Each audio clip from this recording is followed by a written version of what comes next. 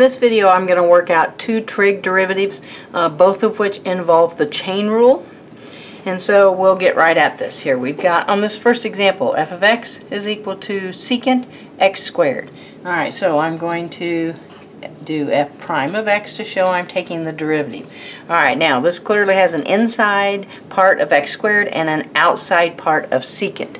Alright, so that means I am going to have chain rule here. When I do chain rule, I take the derivative of the outside function, I leave the inside function alone, and then I multiply it times the derivative of the inside function. So I'm actually going to use some uh, ddx notation in the middle of the problem to show that chain where it occurs. Alright, so um, derivative of secant is going to be secant tangent. And I leave the inside alone. So I'm going to have a secant x squared tangent x squared and then times the derivative of that inside function. So d dx of that x squared. Alright, this first half part is not going to change. So I'll have secant x squared times tangent x squared. Now the derivative of x squared is going to be a 2x. Alright, now you're going to want to clean that up because you you know, depending on how this is written, it might look like you're trying to take the tangent of something's being multiplied. So I would take this 2x and I would move it in front. So then my final derivative would be 2x secant x squared tangent x squared. So that just had one nice little straightforward chain rule in it. Okay, now taking a look at the second example, we've got y equals cosine of the quantity 1 minus 2x quantity squared. Alright, so I have an outside function of cosine, I have an inside function of the 1 minus 2x quantity squared. Alright, so when I take the derivative here, I'll have a y prime is equal to, we take the derivative of the outside function and leave the inside alone. So the derivative of cosine is negative sine, and then leave the inside alone. So then I'm going to go ahead and drop those square brackets at this point. So we'll have 1 minus 2x quantity squared and then times the derivative, d dx, of the 1 minus 2x quantity squared. Alright, now when I go to my next line, all of this stays the same and I focus on just this derivative right here.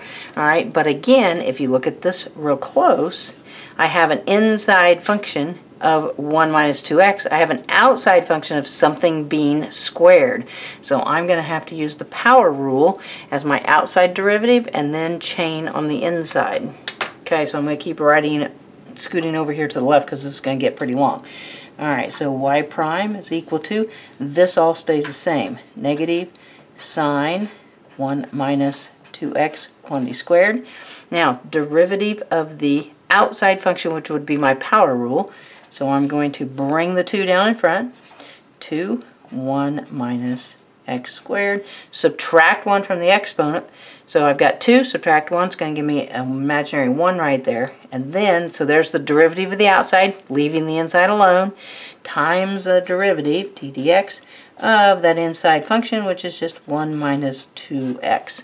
So here, Finally, we are getting down to just a straight derivative, no longer having any chain there. All of this is going to remain the same. So we'll have a y prime is equal to negative sine of 1 minus 2x quantity squared times 2, 1 minus 2x. All right, derivative here, the 1's going to go away. Derivative of the negative 2x there is just going to be a negative 2. Alright, now what I'm going to do is I'm just going to clean this answer up. Alright, I've got a negative out in front, I've got a 2 right here, I've got a negative 2.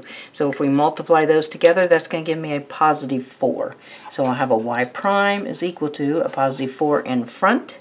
Alright, and then um, if I leave this 1 minus 2x sitting next to this, it's going to look like I'm taking the sine of all of that, so I'm going to choose to move this in the front.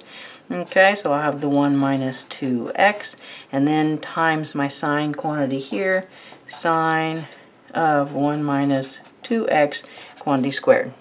Okay, um, I would probably just leave it like that. You could go ahead and distribute the 4, leave it. It really doesn't make any difference at that point on your derivative there.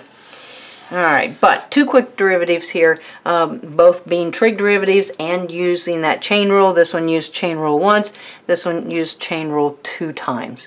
Um, definitely, thanks for watching. If the videos are helping, don't forget to subscribe to the channel and share with your friends. Thanks.